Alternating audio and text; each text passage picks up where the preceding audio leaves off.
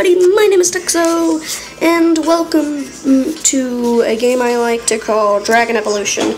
It's where you play as this guy, you gotta collect these stuff from dragons, and, well, you make different dragons by smushing them together. Squish, squish, squish.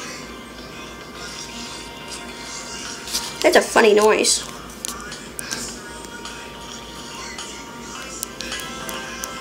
Mean, seriously.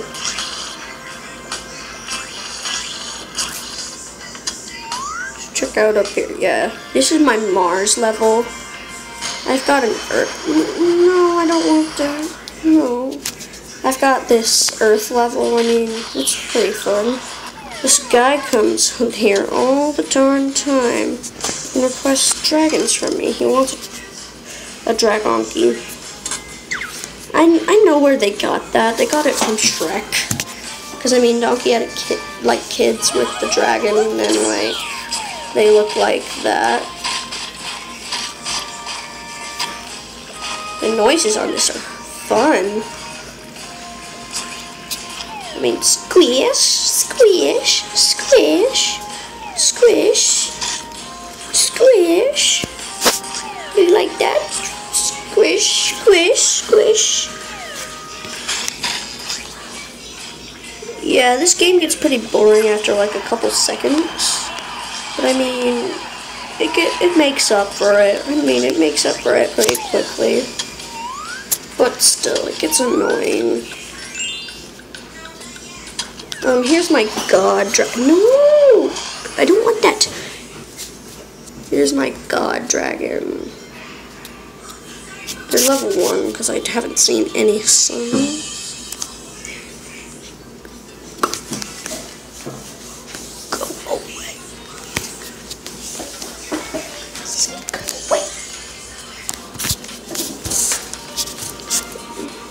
But yeah.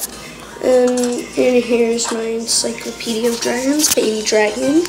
That's the first dragon you get. Chubby Dragon, Three-Way Dragon, Scratchy, yeah, Scratchy Gun, Yummy Gun, Show Drag, Snake Gun. This little snake figures its tongue looked like a tiny flame. Fearsome. now, Dragonky, you know where that gets, he gets that. Spyragon, don't know exactly where they get it. Trogon, Never End Dragon, and I thought they got that from like the Never Ending Story, but apparently they get this from like um, it's like Never Ends. I mean, look, the body of it looks like it's from a Never Ending Story. Most of you probably don't know what the heck that is. It's an old movie that I love. There's Dragula, Dragula. Oh, it's I don't know how to pronounce it. Beauty Sleep. Beauty Sleep Dragon Ass. I know where you get this. I know where they get this from Beauty not Beauty and the Beast, I mean, uh,